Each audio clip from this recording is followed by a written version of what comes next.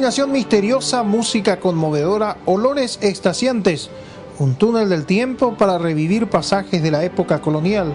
Con motivo de la celebración de los 400 años de fundación de la antigua reducción jesuítica de San Ignacio Guazú, el Teatro El Molino llevó a escena un espectáculo cultural con representación viva de obras barrocas. Un elenco de 30 personas involucradas directamente en la puesta en escena de la obra El Barroco de las Misiones Jesuíticas del Paraguay.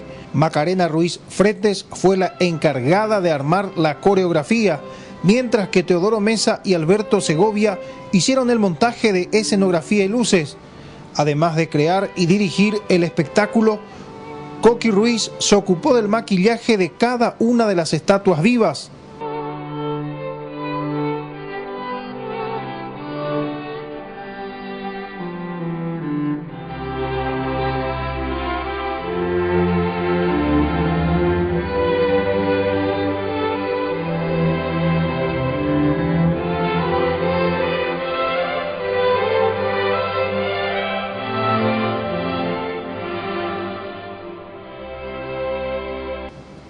Varios actores y actrices del grupo La Barraca de Tañarandú asumieron con firmeza las posturas estáticas de las imágenes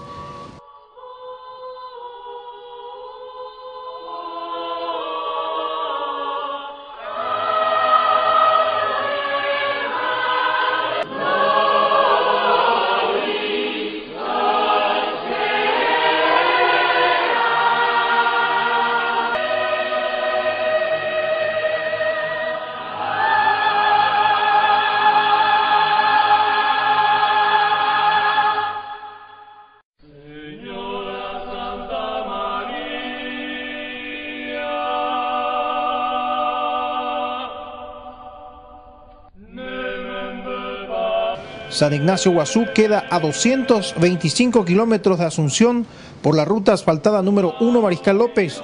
Es en la actualidad una progresista comunidad del departamento de Misiones. Informó Claudio Genes para ABCTV.